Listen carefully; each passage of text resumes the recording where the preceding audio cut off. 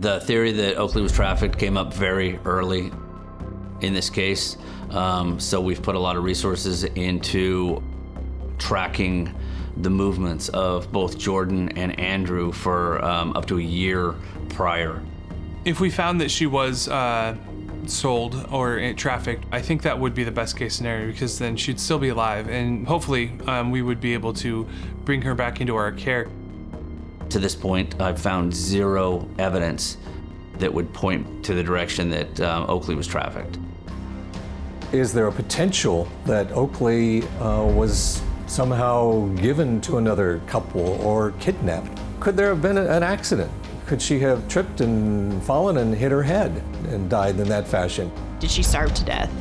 Um, did they just hit her too hard? We don't know what happened yet, so you're innocent until proven guilty.